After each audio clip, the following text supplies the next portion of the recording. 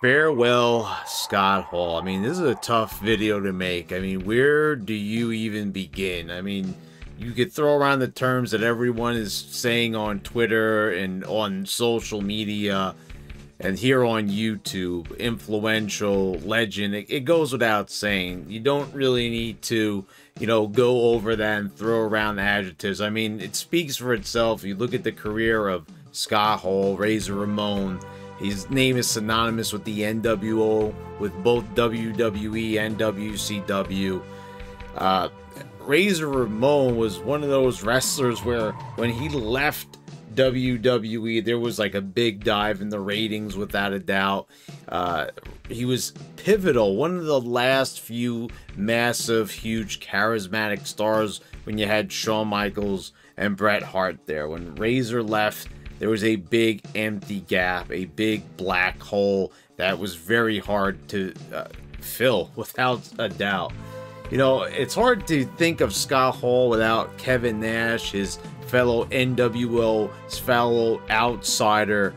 You know, they went to WCW together. You know, I always think of those two together, and obviously you see it's hitting Kevin Nash quite hard. He's the one who made the announcement and I have to say, I mean, these complications uh, with the hip surgery and the blood clot, I mean, you got to believe there's got to be some medical malpractice there.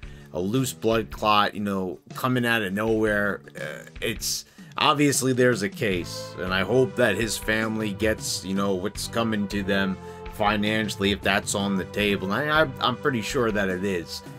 And it's amazing that, you know, after all these years of Scott Hall and his demons and all the credit in the world goes to DDP for helping him get through all that, helping the man out. Uh, it, it, it was something like that, like this, that took him out, led to three heart attacks. Just, I mean, the fact that the man was, you know, still uh, alive, you know, albeit on life support, but, you know, still alive and, and somewhat kicking after after three heart attacks. I mean, man, that that that is something else. You you gotta just imagine. Uh, you know, it's not just like one heart attack, three of them, and just a, like a chain reaction of just horrible, horrific uh, medical mishaps. It's it's a heartbreaking way to lose him. You know, I would have thought that if we were to lose Scott Hall, you know, it would have been his body breaking down uh, over the years, like due to the abuse. But you know, thankfully, it's it's not. I mean, this doesn't make it any better. But I think you know, dying directly from you know drugs and alcohol has kind of become the norm for so many. And you know, we kind of look at it and we kind of say like, you know, well, it's to be expected, but we didn't expect this so you know that that's like I said, that's what truly makes it all the more disturbing. And I, I kind of believe that this was something with the procedure. I think something went wrong, and that's why I'm I'm in the court of Scott Hall's family all the way. If if they could get some money out of this, if they could get a lawsuit against the hospital that did the surgery, I say go for it. And uh, you know, overall how I feel about Scott Hall. Man, the man was amazing. What a tremendous wrestler. What an amazing talent. What an iconic personality. I mean, there's no way that I can't think of Scott Hall and not think of him, you know, doing that classic taunt, uh, you know, like that. I mean, there, there's nothing quite like it. You know, you think about him, you think of the toothpick, you think of the bang hanging down you know, fr- from the front of his hair. I mean, just uh, what a, a a classic wrestler. Definitely, you know, if you had to name some wrestlers really quickly off the top of your head, more times than not, I think that maybe Scott Hall or Razor Ramon would probably fall from your lips uh, when discussing those sorts of topics. So, it's heartbreaking, without a doubt. I mean, like I said, we could go through adjectives, we could say how sad the situation is. There's no way to really put it into words. It is a a, uh, a dark day, you know, for the wrestling world, without a doubt, and uh, for Scott Hall's family, and you know, God bless the man and his family. And let me know what you guys think in the comments down below. What are some of your favorite uh, Razor Ramon Scott Hall moments?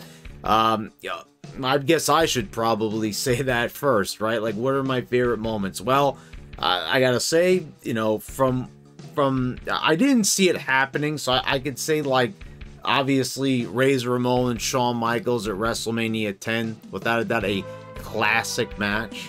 Uh, you know, one of his best. But you know, one of my earliest Scott Hall memories would be the fact when Goldberg had to face off against Scott Hall before he could wrestle Hulk Hogan in the same night on Nitro when Goldberg would go on to win the championship. No one really talks about that. And I thought that was a big moment for Scott Hall to be a part of that and be the you know the barrier between Hogan uh you know and and you know for for uh for Goldberg to have to go through. So that was a classic moment. You know, obviously maybe not everyone's favorite match, but I've always loved just seeing Scott Hall and Stone Cold at WrestleMania 18. I saw someone put that up on the Wrestling Juggernauts group. That to me was always a classic moment. Always a uh, to me it was a classic match. You you didn't get to see this previously, so it was a very unique match and uh, I liked seeing it. I, I, thought it was just great to see those two guys going at it in the big arena, and um, you know, there's something about presence of just having him and Stone Cold being there. So that that was another great moment for me, and and many others. Those are just some off the top of my head that I could think of. But let me know yours below, and uh, please subscribe if you haven't already. Click the bells to get all notifications when I post all my new videos. I want to thank all my patrons for your continued support. Thanks again, guys. I'll see you next time.